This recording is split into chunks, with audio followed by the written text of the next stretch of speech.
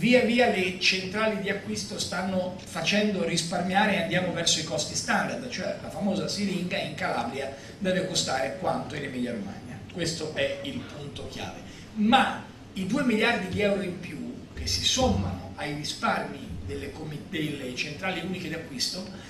vanno su, uno, su una giustissima presa di posizione che ha preso il Presidente Bonaccini che io voglio difendere qui a Fidenza, che è quella dei vaccini.